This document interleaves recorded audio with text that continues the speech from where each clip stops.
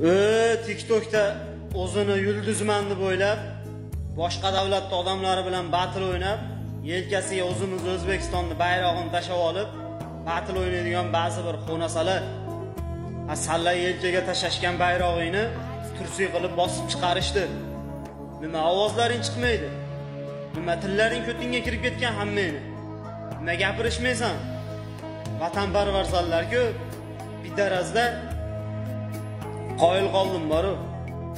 Na bir davlat xodimidan na bir bu tiktokdagi ведущий o'zini yulduzman deb o'ylaganlardan bir ovoz chiqdi na boshqa bo'ldi. Bizni g'ururimiz orimiz nomusimiz sharafimiz bayrog'imiz ich kiyim qilib chiqarildi bosib biznikilar jim. Hali hech kimdan ovoz ses sado yo'q. Bularda vatanparvar bo'lib ko'ringaniga ishonmanglar hammasi vatanga. U yelkasiga bayroq tashlab olib chiqishni bilishadi xolos. Vatanni himoya qilishni ham boshqa qilishni ham bilishmaydi. Ertaga olloh saqlasin o'zbekistonda urush bo'lsin. Mana shu bayroq tashlab olib efir qilayotganlar boru teshikdan ham topisholmaysan ishonish. Ishonish. Kimlar poddeshka qilishayotganingni ko'rish olgin ey hechmi bayroqni hurmati yo'q hechmi vatanni hurmati yo'q?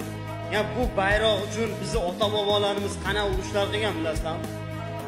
Hech kim vijdonlaring qiynalmayapti borib hayf sonlarda vatanparvarlarga